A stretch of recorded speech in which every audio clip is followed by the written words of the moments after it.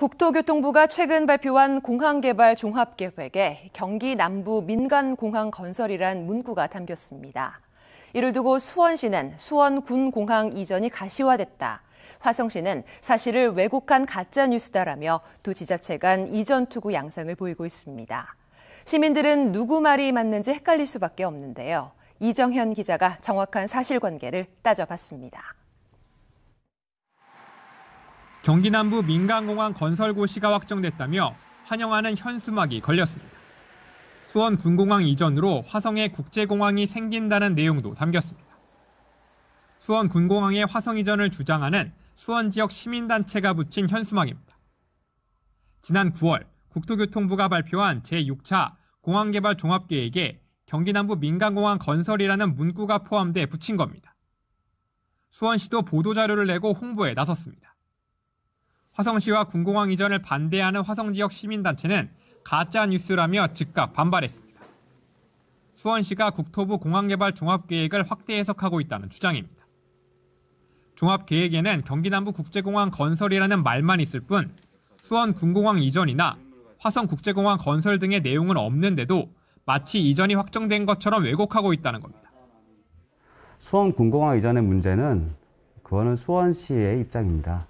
우리 화성시는 절대 군공항 이전 또는 경기 남부 국제공항이라는 것 따위는 필요하지 않습니다. 또 국토부를 통해 공항개발 종합계획에는 군공항 이전 등 항공작전기지 내용을 포함하지 않는다는 질의답변도 받았다며 가짜뉴스를 즉각 멈추라고 날을 세웠습니다. 새빨간 거짓말을 볼 수가 있어요. 그 가짜뉴스는 앞으로 안 묻었으면 좋겠고 수원시 등은 종합계획 내 경기 남부 민간공항 건설은 수원 군공항 이전을 염두에 든 것으로밖에 해석되지 않는다는 입장입니다. 경기 남부 민간공항 건설을 추진할 수 있는 건 수원 군공항 이전에 따른 민군 통합 국제공항뿐이라고 주장했습니다. 화성이나 화성 말고 화공지구 말고 민간공항에 들어갈 수 있는 곳을 지적할 수 있는 데가 있을까요? 한 개도 없어요. 또 민군 통합 국제공항은 기피 시설이 아닌 화성 발전을 위한 계기라는 사실을 알릴 필요가 있었다며 가짜 뉴스가 아니라고 반박했습니다.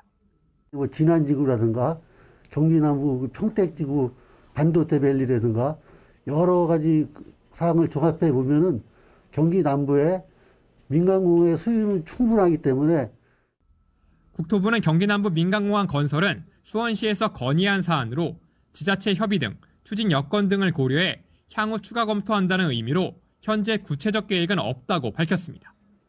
지자체에서 제안한 것들 이런 것들을 종합 고려 후에 이제 뭐 추가적으로 검토를 한다. 네, 원론적인 내용들 정도 수준이라고 보시면 될 것 같아요. 뭐. 수원 군공항 이전을 둘러싼 양측 지자체의 끝나지 않는 갈등으로 예산 낭비뿐 아니라 시민 피로감마저 극에 달하고 있어 갈등 해결을 위한 제3의 대안을 찾는 등 새로운 돌파구 마련이 필요해 보입니다. OBS 뉴스 이정현입니다.